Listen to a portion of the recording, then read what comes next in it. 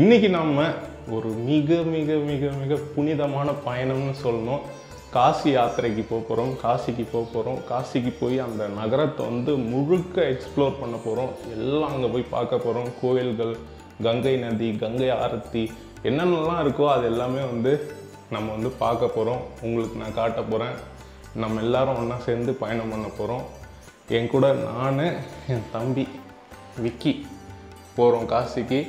ஃபுல்லாக இனிமேட்லேருந்து வர எபிசோட்ஸ் வந்து காசி பற்றி தான் இருக்க போகுது. கொஞ்சம் எபிசோட்ஸ் பாருங்கள் நிறைய பேருக்கு ஷேர் பண்ணுங்கள் அப்படியே கூடவே வந்து பயணம் பண்ணுங்கள் வாங்க போகலாம் கிளம்பிட்டோங்க. இப்போ காஞ்சிபுரத்துலேருந்து ஏர்போர்ட்டுக்கு போயிட்டுருக்கோம்.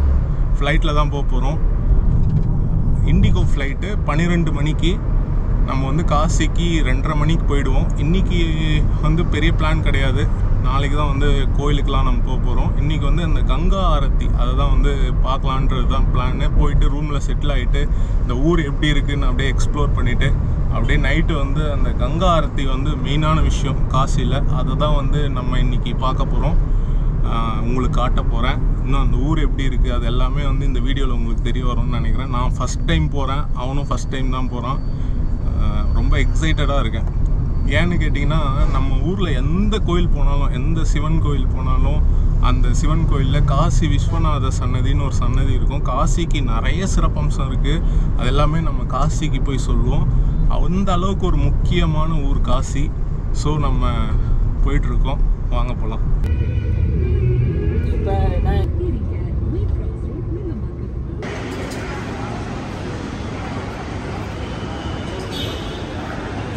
வந்துட்டோங்க. அங்கே பார்த்தீங்களா செம்ம கியூ உள்ளே போகிறதுக்கு போகலாம் நம்ம.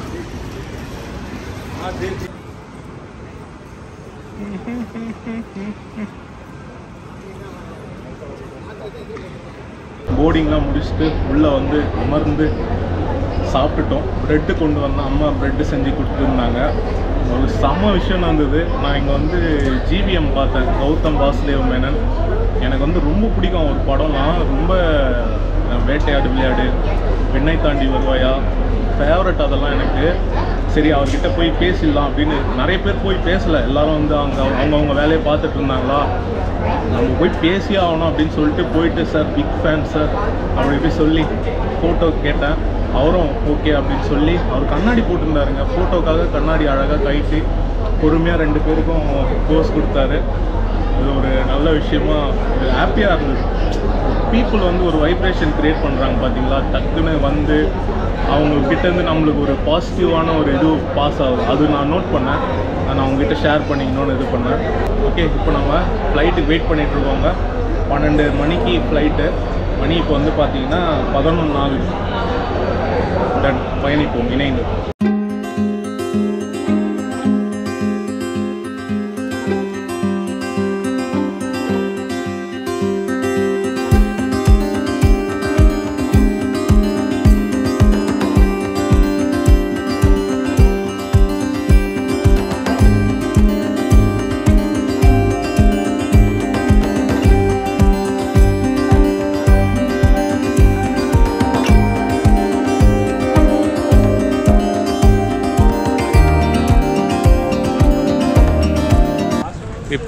ஏர்போர்ட்டில் ஏர்போர்ட்ல இருந்துங்க காசி ஏர்போர்ட். பேர் என்ன தெரியுமா? Lal Bahadur Shastri international airport Varanasi. இங்கேருந்து விஸ்வநாதர் கோயிலுக்கே வந்து பார்த்திங்கன்னா இருபத்தி ரெண்டு கிலோமீட்டர் காட்டுது.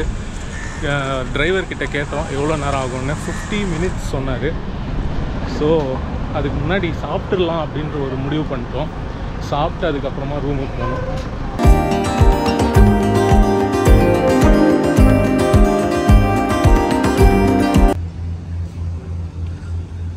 சாஞ்சி அப்படின்னு ஒரு ஹோட்டலுங்க இது. நல்லா இருக்குது தாபா மாதிரி இருக்குது அங்கங்கே ரெடி பண்ணி வச்சுருக்காங்க.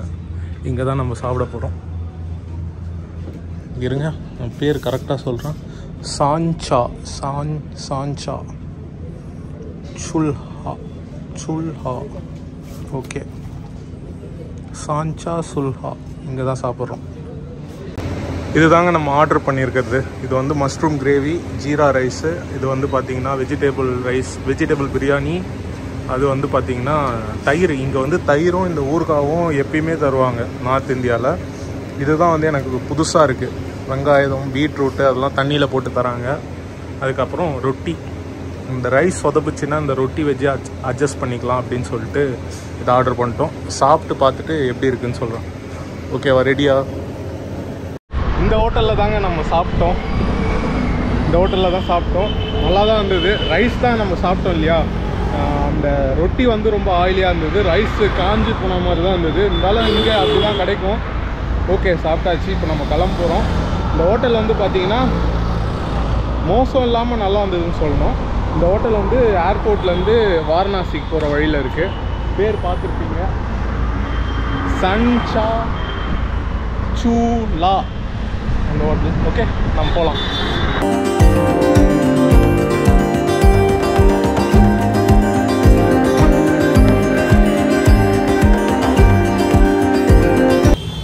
வந்துட்டோங்க காசி. இதுக்கப்புறம் நடந்து தான் போகணும் நம்ம இருக்கிற அந்த நாட்டுக்கோட்டை அந்த சங்கம். அந்த சங்கத்துக்கு தான் நம்ம போகிறோம் அங்கே தான் தங்கியிருக்கோம். அங்கே இருக்கிற சத்திரத்துக்கு தான். லெஃப்டில் நம்ம நடந்து போனோம். செம்ம டிராஃபிக்கு ரிக்ஷா இங்கே நிறைய இருக்குங்க. ரிக்ஷாலாம் இங்கே நிறைய இருக்கு. நம்ம லெஃப்டில் போனோம்.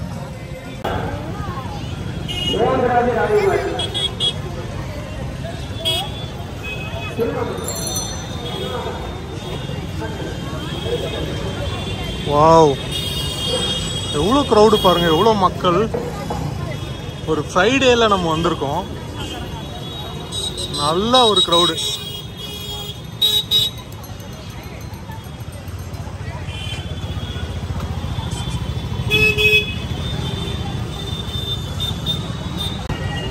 அப்பா அப்பா க்ரௌடு பாருங்க எவ்வளோ இருக்கு? நிறைய மக்கள் வராங்க இங்க காசிக்கு. நம்ம சத்திரம் இங்கே தான் எங்கேயோ இருக்கு. நாட்டுக்கோட்டை சத்திரம். பார்ப்போம் நம்ம. இங்கே பாருங்கள் தமிழ். காரைக்குடி. இங்கே பாருங்கள் தமிழ்லலாம் போர்டு இருக்குது பாருங்கள் இந்த இடத்துல தான் அந்த நாட்டுக்கோட்டை சத்திரம் இருக்குது போயிட்டுருக்கோம். இங்கே தாங்க நம்ம தங்க வேண்டிய சத்திரம். இதுதாங்க. காசி நாட்டுக்கோட்டை நகர சத்திரம். போகலாம் நம்ம உள்ள.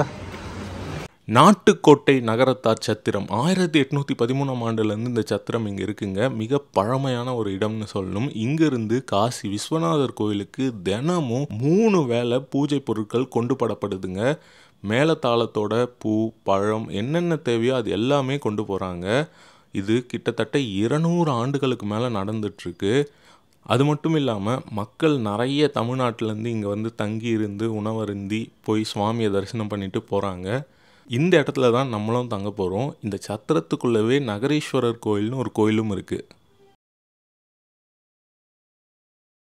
நீங்கள் பாருங்கள் ஸ்லிப்பர்லாம் வெளியே விட்டுட்டு தான் நம்ம அந்த ஃப்ளோருக்கே போனோம். சூப்பரான விஷயங்க. பழைய பில்டிங் இது. அழகாக இருக்குது பார்க்க தாங்க இப்போ நம்ம ரூமில் எல்லாம் போயிட்டு செட்டில் பண்ணிவிட்டு இப்போ கிளம்புறோம். மணி பார்த்தீங்கன்னா ஆறு ஆகுது. நல்ல டெம்பரேச்சர் அதிகமாக தாங்க இருக்குது இந்த ஊரில். இந்த ஆறரை மணிக்கும் நல்லா சம்மர் மாதிரி பாருங்கள் இப்போ. நான் எவ்வளோ வெளிச்சமாக இருக்குது பாருங்கள் ஆறரை மணிக்கும்.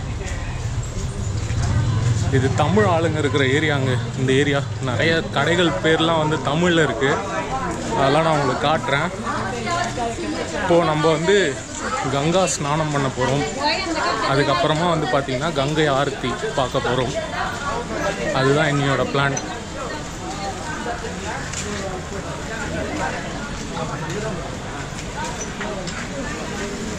பாருங்க நிறைய வெரைட்டி வெரைட்டியான கடைகள் இருக்குது புடவை நிறைய புடவை கடைகள் இருக்குங்க.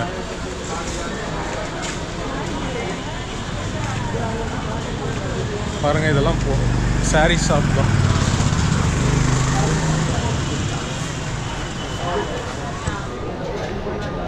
ஓ இங்கே. Saree ஷாப்ஸ்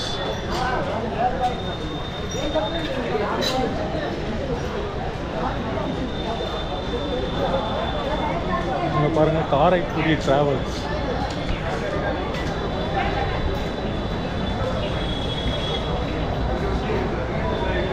சூப்பருங்க. போயிட்டுருக்கோம் போகலாம்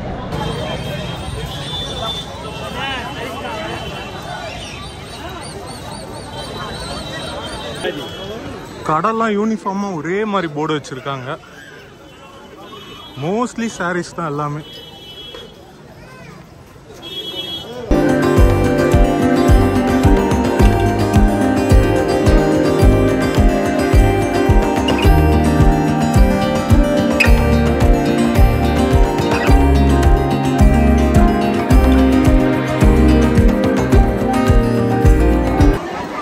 பாருங்க கங்கை நதி.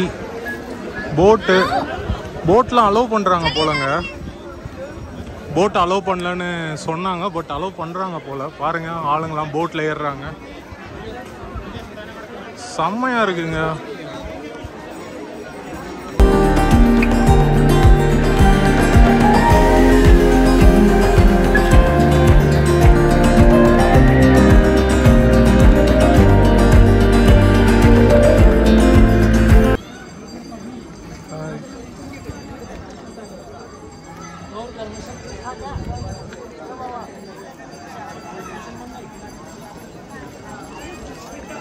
இங்கே தாங்க நம்ம குளிக்க போகிறோம்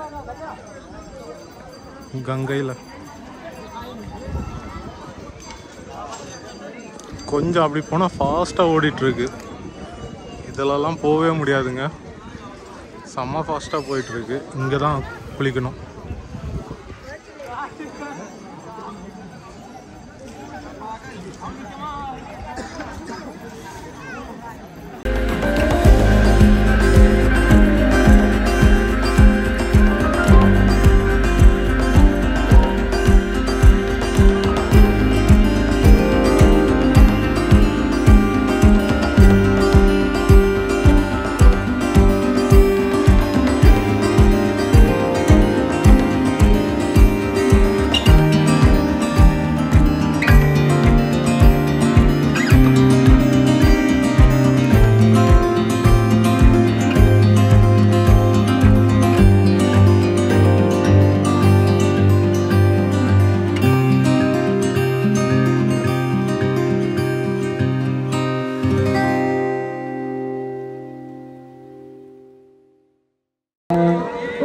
கங்கா ஸ்நானம் பண்ணிட்டோங்க. இப்போ போய் அந்த கங்கை ஆரத்தி போய் தரிசனம் பண்ண போகிறோம் ஸ்டார்ட் பண்ணிட்டாங்க.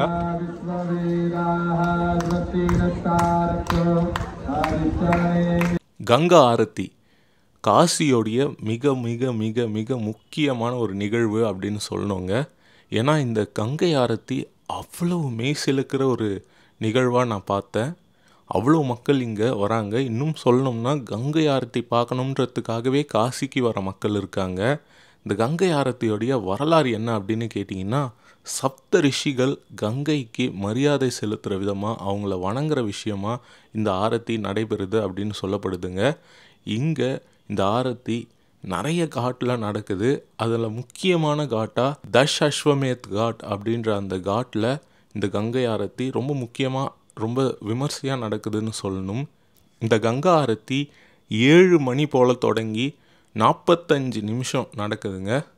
ஒரு மெய் சிலுக்கிற விஷயமா அவ்வளோ ஒரு அற்புதமான ஒரு விஷயமா இருக்குது ஏன்னா அவ்வளோ மக்கள் ஒன்றா சேர்ந்து ஸ்லோகங்கள் பஜனைகள் பாடி அவ்வளோ ஒரு ஆனந்தமாக இருந்தாங்க. அதெல்லாம் வந்து இங்கே தான் நான் பார்த்தேன். அவ்வளோ அற்புதமாக இருந்தது.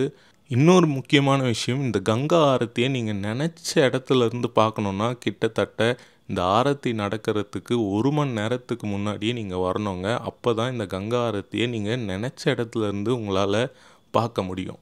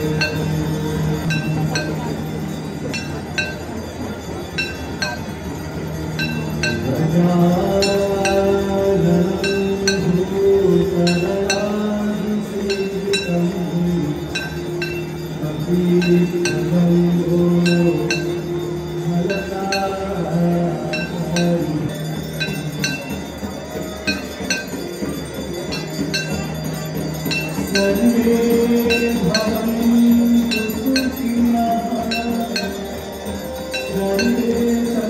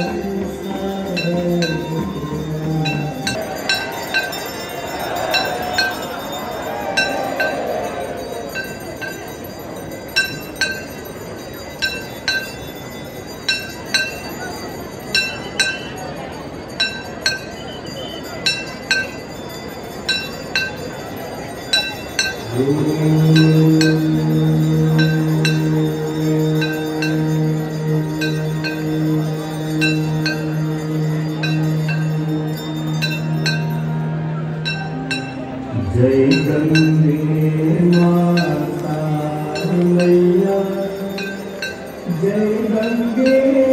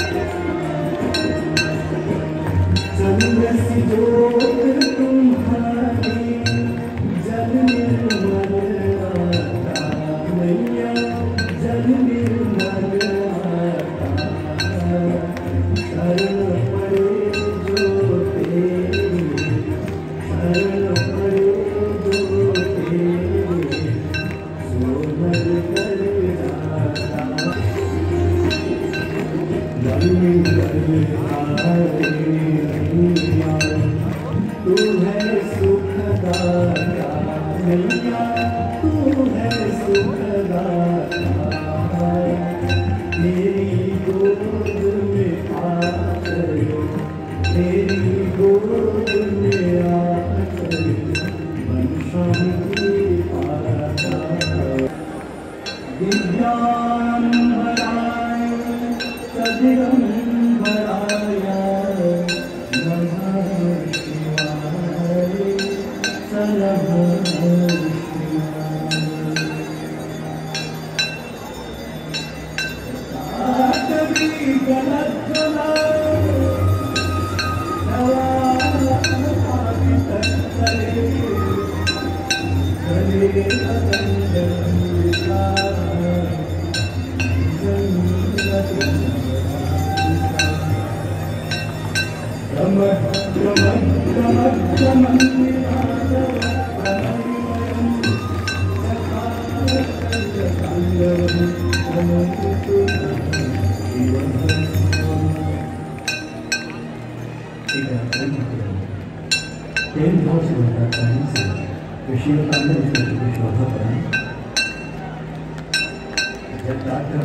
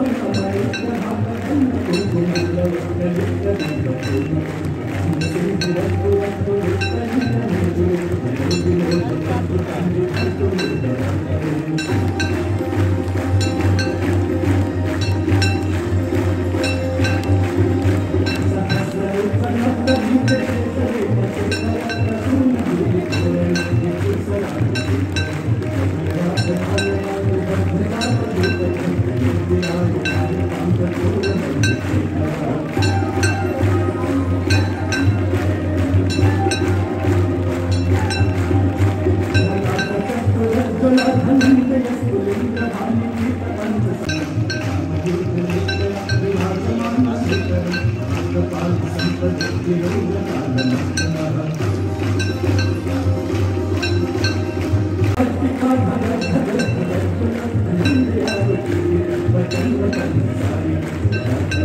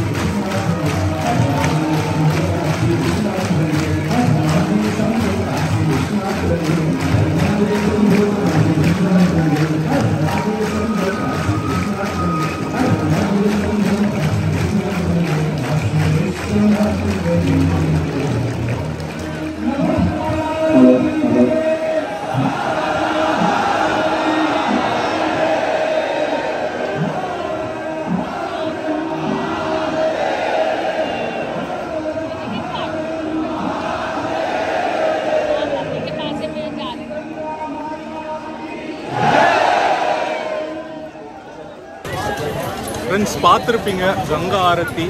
செம்மையாக இருந்தது வேறு லெவலில் இருந்தது. அங்கே பாட்டு பாடி இது பண்ணி ரொம்ப நல்லா பண்ணியிருந்தாங்க. ஹோப்ஃபுல்லி இன்றைக்கி இந்த வீடியோ காசியில் இங்கே முடிச்சுக்கிறேன். இன்னும் காசியை வந்து நாங்கள் இன்னும் நல்லா எக்ஸ்ப்ளோர் பண்ண போகிறோம் அடுத்தடுத்த வீடியோஸ் வந்துகிட்டே இருக்கும். பாருங்கள் இந்த வீடியோ நான் இங்கே முடிச்சுக்கிறேன். இதே மாதிரி இன்னொரு நல்ல வீடியோவுடன் சந்திக்கிறேன். Bye from Ganesh Raghav and Vijay Surya. Bye friends bye